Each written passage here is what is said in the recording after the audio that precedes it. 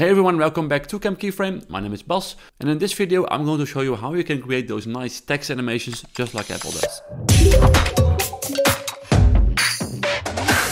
So I've recorded a little voiceover here just um, because these texts, we can see them uh, multiple times in, in, Apple animations, like the text is moving on screen, uh, following the voiceover along, and it kind of does this fun, playful thing.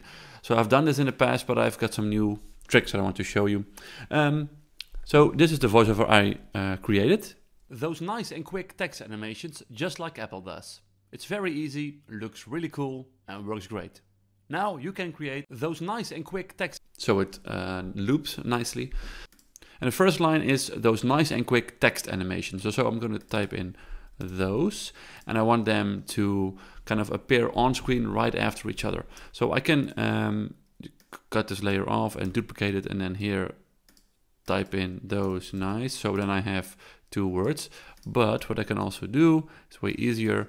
Just open up the source text here. So if you open it up here, go to text and we have source text, click on that and it makes a keyframe. It's a square one and that's because it's a hold keyframe. So it doesn't move in between. So if I, if I go a bit further and I type in nice, then at this point the, the source text changes from those to nice.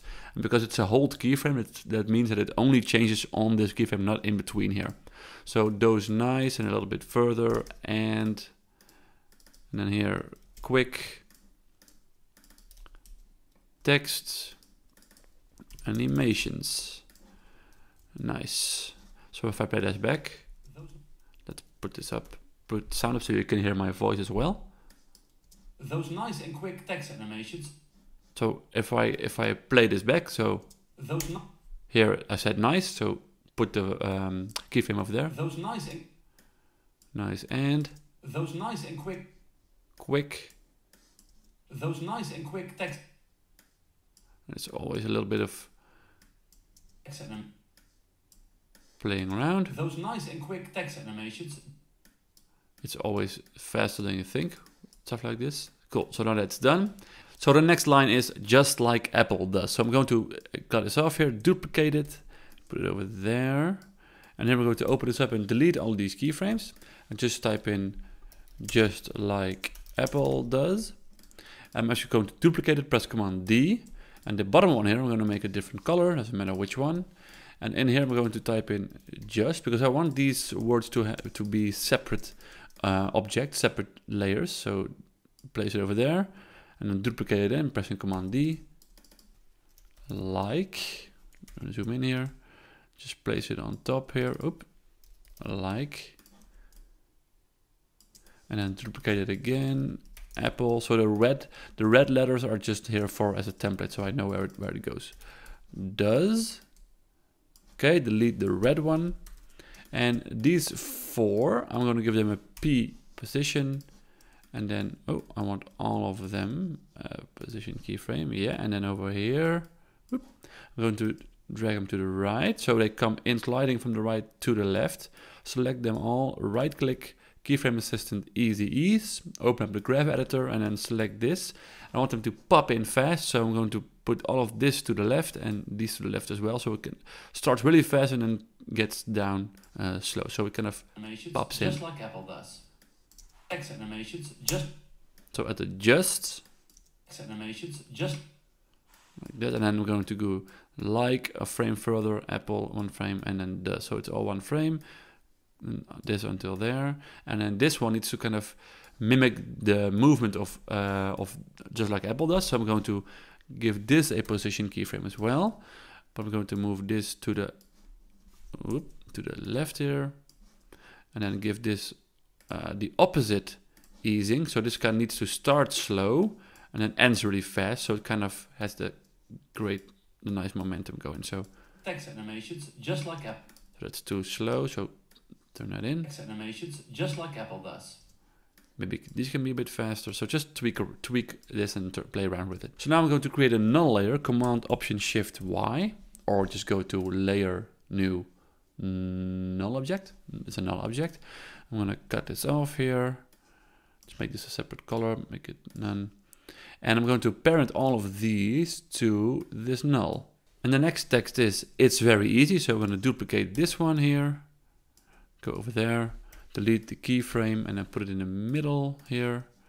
Type in its and um, this null object, let's place that down here.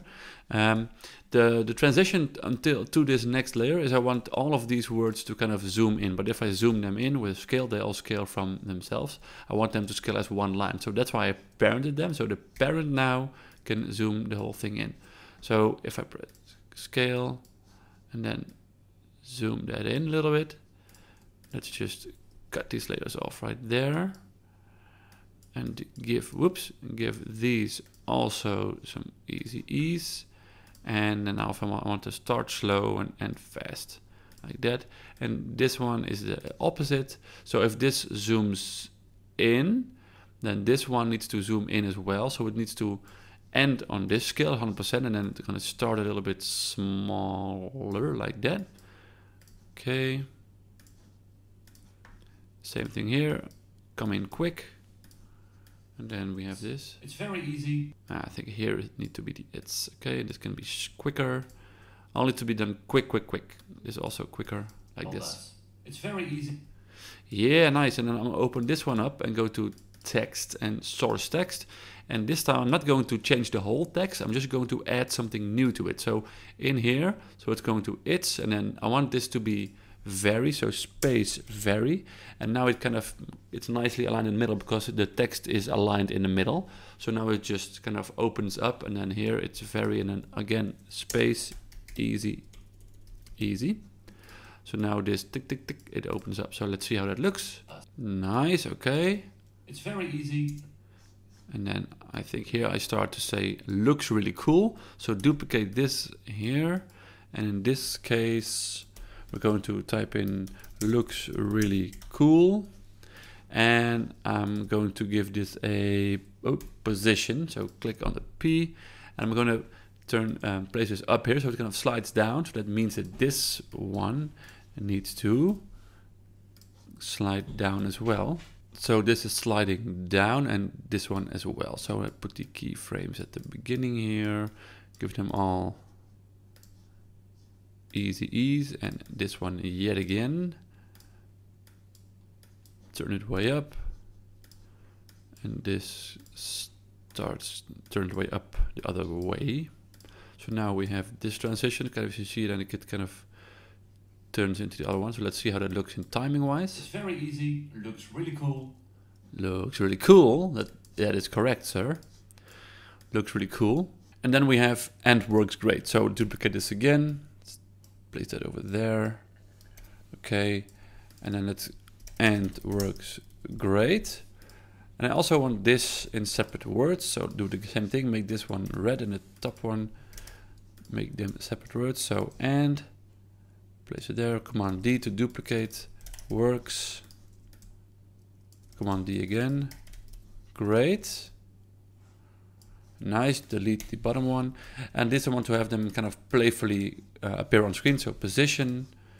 And then maybe um, and works great. Okay, right click, keyframe assistant, easy ease, and the same thing yet again. Oh, zoom in here. Bloop, bloop. Okay, and let's turn that to the left. And I'm gonna give this a hard cut, so it just cuts to this. And I'm going to time this, of course, to the voiceover. Oh, wrong button. See how this looks. Really cool and works great. A little bit later, I think. Okay. Cool and works great. I think around here I'm gonna say now. Now you can create Oh, yeah, so I'm gonna duplicate this and it says now. Put it in the middle. And I'm gonna give this some, again, some text, source text. And then here let's do the same thing. Now space U, a little bit further, space can, a bit further, space create. That's it. So now we have the full thing. Let's give this uh, another null object here. So create that and then make that none. And select these three and parent them to those. So these ones are now parented to this one and this one the same. Let's just have this kind of zoom out to make it a little bit smaller here. like that. It's kind of the same tricks over and over again, but it makes it really dynamic. Cool, let's just give this a little bit of a zoom in here. Okay, and then let's, wow, that's really small. Like that. And then give the word the those scale as well. And let's have this start bigger. And then easy ease that.